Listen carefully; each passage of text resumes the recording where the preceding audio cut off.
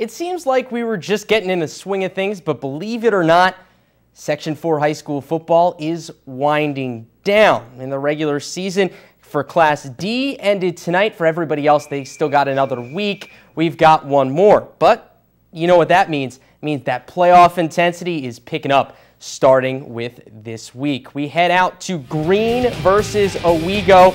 You see the pouring down rain in this one. Nick Larrabee, the quarterback, picking it up in the fourth quarter, tries to get in. He scores on the keeper, but wait, a flag pushes Owego back five yards. They try it again. This time, Derek Knapp. He's stopped at the line by the Greene Trojans. He can't get in. Still staying down 10 for Owego. Later, this time, Craig Luffman. He has no luck. He comes up just short. Fourth down now and goal for the Indians trying to score. Fumble Isaiah Webb, the big guy, picks it up for Greene. Trojans up 24-14 at that point late in the fourth quarter. Now we move to Sidney where it was the Mud Bowl. This field was absolutely destroyed. Tough time on the snap there for the Storm, and it doesn't help the play. The option not going anywhere. Sidney able to wrap them up in the backfield. Later on, Sidney takes over. Nate McDonald, this guy was a beast no, no worries about the mud. They wear brown anyway, so it doesn't really matter. It kind of blends in with the uniform.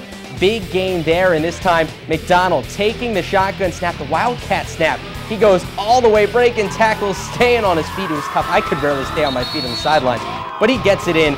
6 nothing at that point. 14 zips. Sidney beats the Storm. The Warriors cruising that one in the final. Now we go to Oxford. Blowing some kisses to the camera. Oxford and Deposit Hancock. Paul Wonka. It's Mr. Wonka's neighborhood. The Chocolate Man getting it all the way down inside to the Deposit Hancock territory, but not so much luck here on the next play. Wonka, they won his everlasting gobstopper, stopped in the backfield there, and then a little bit later, Wonka, it was, it was all Wonka on this drive. He's going to take it on the pitch, and he's going to try to find somebody. The trick play doesn't work quite as well in the rain. Ball picked off there. 22-6 was your score at that point, and Deposit Hancock would go on to win 22-12 over the Blackhawks. Now it's that time of the night. We go back to Sidney. It's time to dish out some honors. It's time for our play of the night. And as I said, back at Sidney, Nate McDonald the big run. It's tough to stay on your feet in all that mud. You can see the mud flying up from all his cleats.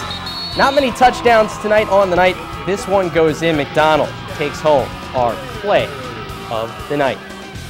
And we stay at Sidney. the unprecedented back-to-back -back play night and hit the night from the same game. It's not usual they come from both, but check this coverage by the Storm. Ball goes over Sidney's head, picks it up, you're going to decide to recover it, and he's tripped up.